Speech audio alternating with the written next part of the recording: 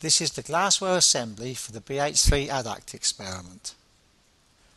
A three-neck round bottom flask is clamped securely over a glass bowl, leaving a gap of several centimetres. This in turn rests on a heater stirrer. A dropping funnel is fitted to the left side of the flask.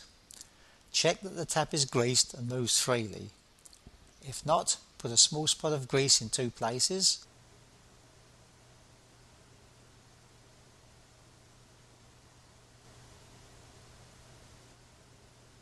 and gently put back, moving the tap to and fro.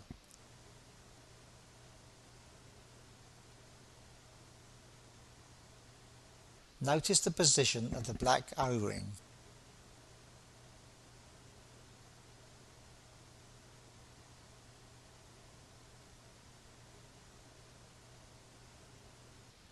It is important to keep moisture out of the reaction, so a calcium chloride guard tube is fitted to the flask. Solvents must be added with the aid of a glass funnel.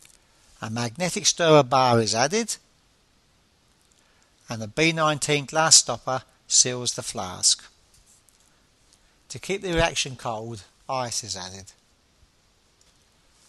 One of the experiments to be done is the hydrolysis of dichloro dimethylsilane. The reaction is highly exothermic, the build-up of pressure is possible. This is made safe by adding the water via a pressure equalizing dropping funnel. Pressure is released via the side arm. If you wish to monitor the temperature of a reaction, use a thermometer with a quick fit adapter.